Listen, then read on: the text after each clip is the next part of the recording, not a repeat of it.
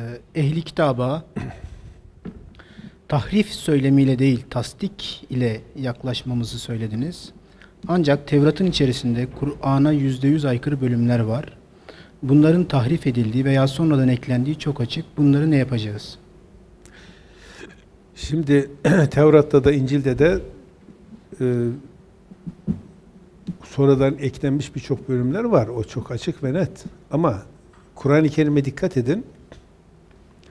Hiçbir ayette Kur'an Tevrat'ı tasdik eder ifadesini bulamazsınız. Hiçbir ayette Kur'an İncil'i tasdik eder ifadesini bulamazsınız.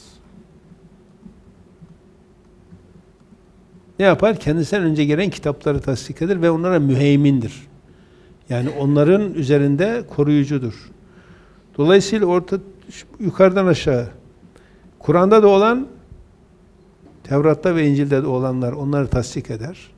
Zaten siz onlara uyabilirseniz diğerlerini siz zaten ondan görürsünüz. Onların asıl söylediği de Kur'an-ı Kerim'e uymaktır. Şimdi tasdikle gitmek bizim görüşümüz değil. Allah'ın emridir. Çünkü çok sayıda ayet-i kerimede kendileriyle beraber olanı tasdik edendir. Mesela Tevrat İncil'i demez. Kendileriyle beraber olanı tasdik edendir. Maide 48. Öyle mi? Tamam. Kaçıncı sayfa? 115. sayfa. Tabi ayet okumak daha uygun olur.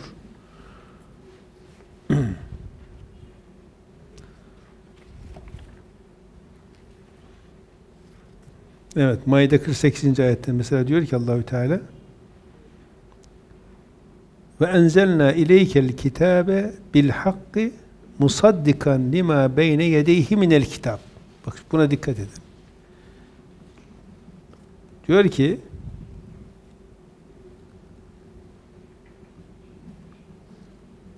bakayım meali nasıl. Sana da daha önce kitabı doğrulamak ve onu korumak üzere hak olarak kitabı, Kur'an'ı gönderdik. İşte dedim belki düzgün meal vermişlerdir ama olmamış gene. Ve enzelna ileykel kitabe. Bu kitabı sana indirdik. Kur'an. Bu kitabı sana indirdik. Resulullah sallallahu aleyhi ve sellem. Musaddikan tasdik edici olarak. Neyi tasdik ediyor? Lima beyne yedeyhi minel kitap. Önünde bulunup da bu kitapta olanları tasdik ediyor. Önünde bulduğu bu kitaptan olanları tasdik ediyor. Tamam mı? Ve müheyminen aleyhi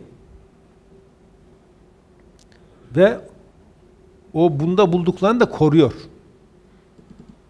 Yani o kitapları da gösterilmeyen, gizlenmiş olan, e, saklanmış olanları da bu Kur'an-ı Kerim aynı zamanda koruyor.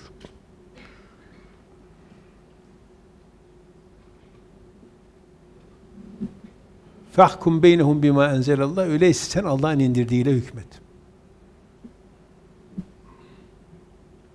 Ve la tettebi ahvahum. Onların arzularına uyma. Amma caeke minel hak.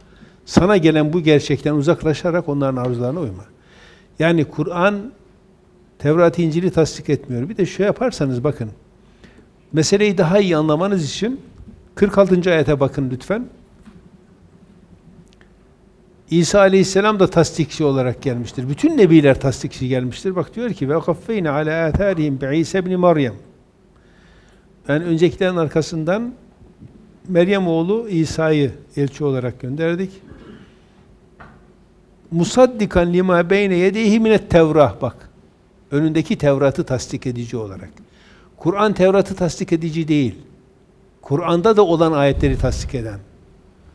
Onun için Tevrat'ı tasdik eden, İncil'i tasdik eden, şu kitabı tasdik eden diye bir ifade Kur'an-ı Kerim için yoktur. Ama İsa Aleyhisselam zamanında demek ki Tevrat olduğu gibi duruyordu. Onun için İsa Aleyhisselam Tevrat'ı tasdik eden bir kitap şey edici olarak gelmiş. Ve ateynahul incile incile fihi huden ve nurun. Ona da İncil'i verdik. Bak İsa Aleyhisselam'ın kendisi Tevrat tasdik ediyor ve İncil'i verdik. İncil ne yapıyor? Ve, ve musaddikan lima beyne yedihi minet tevrah. İncil de kendi önündeki Tevrat'ı tasdik ediyor. Yani Kur'an, Tevrat, İncil'i tasdik etmiyor. Tevrat'ta ve İncil'de olan, Kur'an'da da olan ayetleri tasdik ediyor. Ama İncil Tevrat'ı tasdik ediyor. Çünkü o zaman Tevrat bozulmamış daha. Ve huden ve mev'izaten lil muttakin. Ama her halükarda biz tasdikle gidip gitmek zorundayız. Tasdikle gitmediğimiz takdirde şey olacak. Onların inanma görevi doğmaz. Onun için ben şeye Katolik Kilisesi'ne biz- bizzat Başbakanı elden bir yazı verdim. Gelin sizin kitaplarınızı bir koyalım. Kur'an-ı Kerim'i koyalım.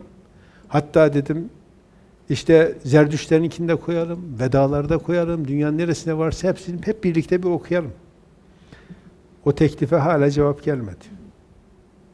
Yani bir gözünüzle görün ki Kur'an sizin beklediğiniz kitaptır. Muhammed sallallahu aleyhi ve sellem beklediğiniz nebidir. Onlar bunu gayet iyi biliyorlar ama sistemleri çökmesin diye kabul etmiyorlar.